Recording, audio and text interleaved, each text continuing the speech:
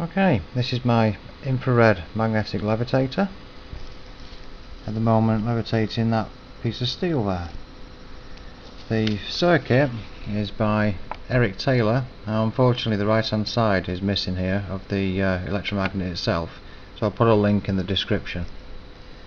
It uh, mainly uses, well obviously infrared sender LED and the infrared receivers. The receivers came from a VCR and the sender came from a TV remote. Um, the main basis is using a TL072 and the difference in these two here is amplified. That change goes to a TIP 120 it's supposed to be a TIP 122 but I had a 120 and you can see if I take the object away move it into the beam you can see that LED at the back there changes. So it grips quite well, just leave it like that, let it spin around. The nice thing about this type is you can use different things um, without changing anything. So if I get this screwdriver, I can put that there. And there we are. That one's levitating.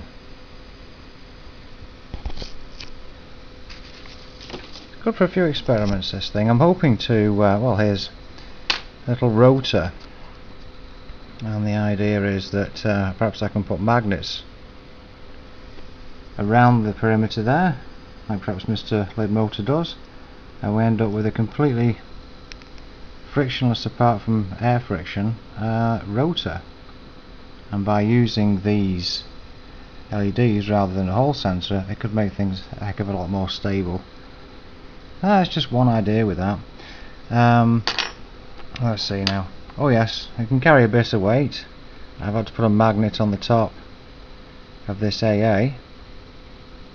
But if I get it right, there we are. It'll carry the weight of an AA. It's running from 12 volts from a converted uh, computer power supply, just because I needed the minus 12 volts for the op amp. So uh, I don't know, try this one as well. Steel bolt.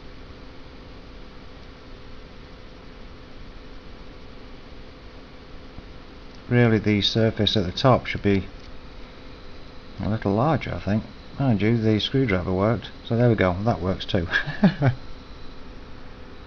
I like this kind of thing and that's not a difficult circuit.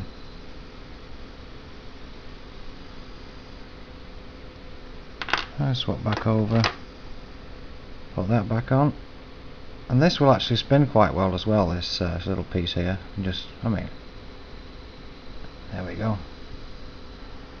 And what's going to slow it down you know? Spinning in the air.